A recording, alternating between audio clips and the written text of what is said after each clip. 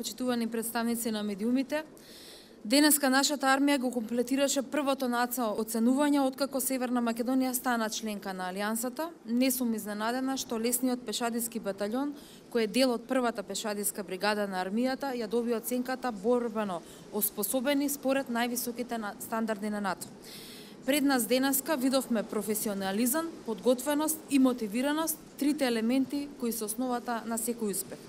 На вистина сум горда првенствено на оваа највисока оцена на нашите војници, подофицери и офицери, а горда сум и што Северна Македонија, иако е нова членка на Алијансата, повторно покажа дека може дури и да ги надмине подборувањата од НАТО. Овој набљудувачки тим, кој денеска оценуваше, е повеќе од достоен за доверената задача. Главниот НАТО супервизор во наблюдувањето, подполковникот Тино Колман од германската армија, порача дека е импресиониран од посветеноста и професионалноста на тимот. Успехот на кој сме горди и кој не исполнува не, не дојде ненадејно. Армијата и Министерството работеа напорно за да имаме повеќе средства за одбраната, но и за тие средства да бидат искористени ефикасни и плански.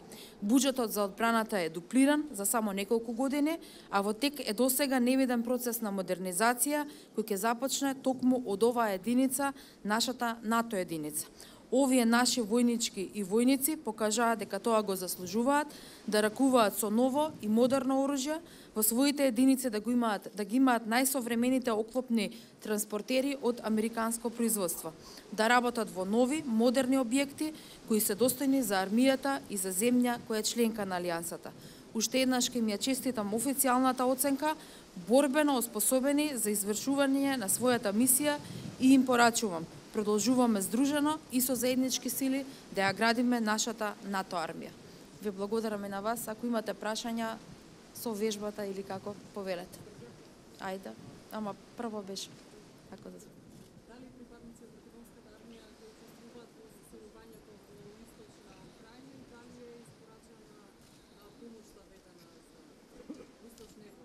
мислете на заселување на источната линија на НАТО алијансата, се уште таква одлука немаме донесена, иако како што се уверивме од денешната вежба ги ги демантиравме сите скептици дека нашата армија не е подготвена.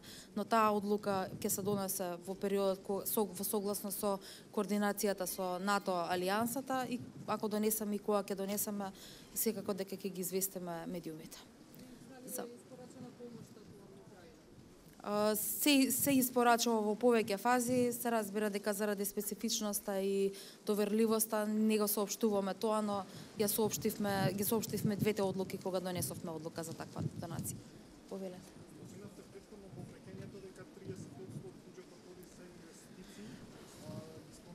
сега американските возила, кога тие се очекува да зашто најмногу се трошат се даваат пари за инвестиции во најмногу се, се средствата се насочени кон купување на нова софистицирана опрема. Делот опремата е она што го споменавте и вие, возилата ќе почне за нивната испорака некаде јуни оваа година и кога ќе ги добиеме првите шест возила сега за сега се најавени, апсолутно ќе ве поканиме да се да ги проследиме заедно примопредавањето.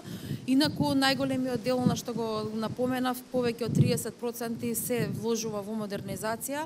Минатата недела го донесовме и планот а, за набавки од областа на одбраната и безбедноста, но преку договори влада со влада, таму има опфатени 8 проекти кои се однесуваат и на зголемување на капацитетите да, на зборам од бранбени капацитети на лесниот пешадески батальон, меѓутоа набавки во областа на артилерија и други набавки кои се потребни за армијата. Сите тие набавки се прават согласно долгорочниот и среднорочниот план за развој на армијата. Други прашања? Ви благодарам многу на сите и благодарам и што и покрај силниот ветер дојдовте.